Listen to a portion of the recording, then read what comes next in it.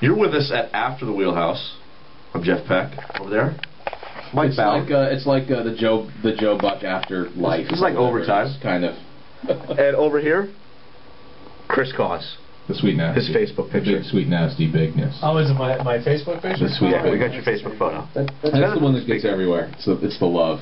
That's the one that gets Love. you look handsome, dude. You do. well, you know, that's my headshot. So Mm. good to know. There's a Uh, it took me a long time. I mean, I've had pictures that really look like me, but Yeah. one of my big problems in my acting career was people would bring me in for parts where the the person's like 45, and then I'd get there and they go, "Wow, you really look like your picture," and I'm Oh. supposed to go, "Thank you." I mean, Oh. they expected that I apparently airbrushed the shit out of it so they could look like that. Mm. So I actually was like 45, 50. I paid a fortune to look like that in my headshots. Thank you for recognizing that. I appreciate it. Hey, uh, let me ask you this. Speaking of uh, 45-year-old man, Yes. how how old do you think the kid from Chicago who called in tonight was? Nine? We are uh, big. I did some research. I'm pretty sure that we are big in the 12 to 15 demographic. Well, That way, uh, it's a big, high-spending candy, uh, baseball cards, bubble gum demographic. It Uh, really, it's great. I, really all I'm thinking is perhaps time- perhaps MTV will be more likely to pick us up then. Maybe. Maybe. I think you, you have less cocksucker jokes and more poop jokes, though. Okay, poop jokes. Got you. We'll to- you know what? There's my whole. There's that whole idea again of now cleaning up the language a little bit, making it a little bit more family friendly. Perhaps then we would really be able to market. I'm hoping Disney Radio picks us up. Hey, so it could be Hannah Montana triple shot weekend, Yes. and then right into I'm us. already in the computer. There you, there you go. You're already in. I'm already in the computer. Oh, that's fantastic. All right, so let's for those of you who are now watching this, the after hours sudden death Overtime. the. I think we should call it sudden death. Sudden death. the, Um, the wheelhouse colon sudden death. You are now a part of our programming meeting. Welcome. What is the it? Did, were we roll. talking about peeling back the curtain? Yeah, this is it right here. This we have peeled it? it back. Just so we can get a cheap the- plug, because Yeah. I don't know if many people know about this yet. Go ahead. Here, can, I, can I hold it for That you? is Want to zoom right amazing. in on that? That is awesome beer. Honey Honeymoon. You zooming in? Uh, Here, zoom, zoom, zoom right in, right there. Oh, whoa, whoa! Wait, I hate on. when you do that. Um, it's a great beer. I highly recommend it. Uh, we were Highly having girls too, but I highly recommend the uh, the honeymoon beer. So tomorrow we've got three songs. I, I sent Cause a, a couple of different things that I thought might be good possible topics, and I don't know if that's been trumped by anything thus far.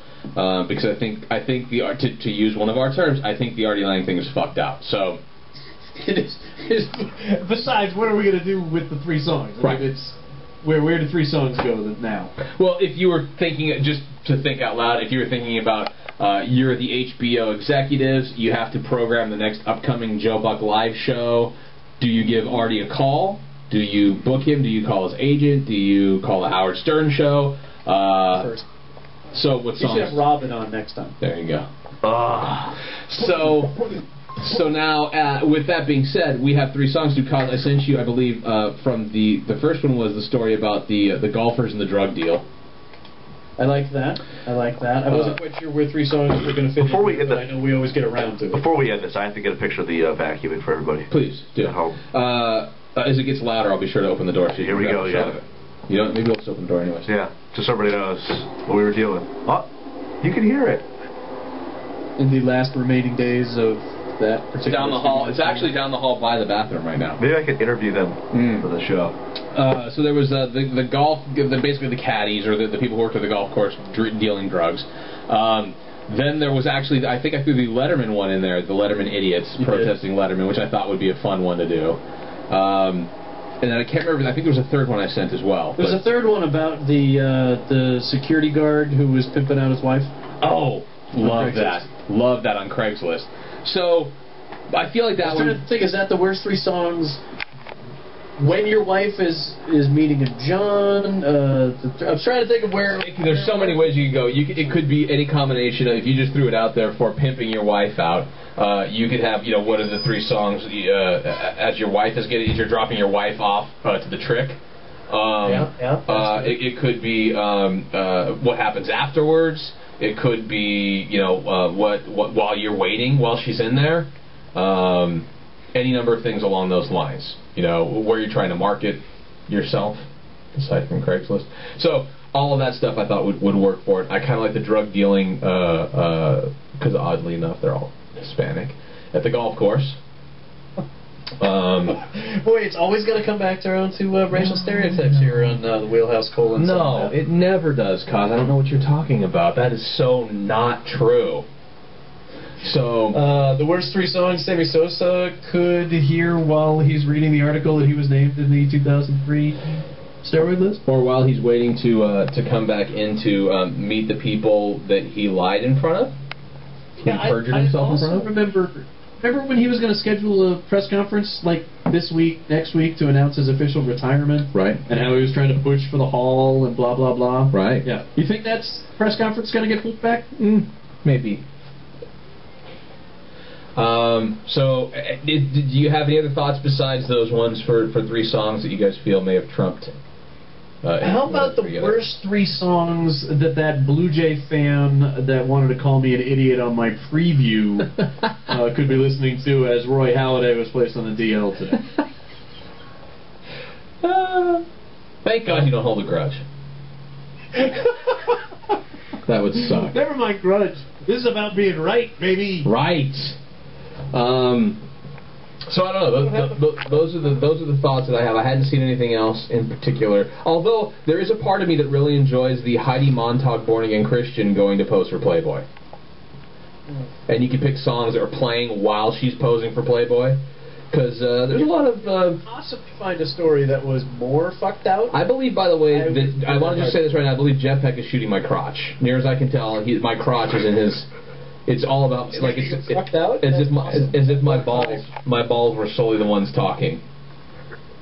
It's crotch cam. It's a big crotch cam right underneath it. Fuck it, we got a new Slice title. that in with Erin Andrews' ass cam that they had during the College World What Series. is that? Holy crap! Who is that? Ben Savage. Oh my god! The next Chris Cause, Ben Savage. Um, Not to find Anthony Clark. So, uh, the story itself, it, it- the actors themselves, the actors themselves uh, are totally fucked out, hundred and ten percent. But the fact that they're born again Christians and she's doing the Playboy thing, you could take it from the angle like the song she doesn't want to hear while she's at the shoot. That would be funny. You could have because at that point we could bring cos- gospel music. Okay, now move over here. We could get gospel. Jeff Peck is really bad at holding the camera. here. He's doing so many different things. Uh, we could. Would we be, uh, Aye. do we need to like hold He could totally do ones on her at the photo shoot, and then from there, just hold it still, just hold it still. Oh, sorry. Sorry. So it could be at the photo shoot. It could be after the photo shoot. It could be you know she's picking up the lingerie for the photo shoot. It could be while she's at the Playboy Mansion. Anything along those lines, I thought would be kind of fun because it could be you could pull any kind of gospel music, Christian music, whatever you wanted to. It'd be just excellent for it.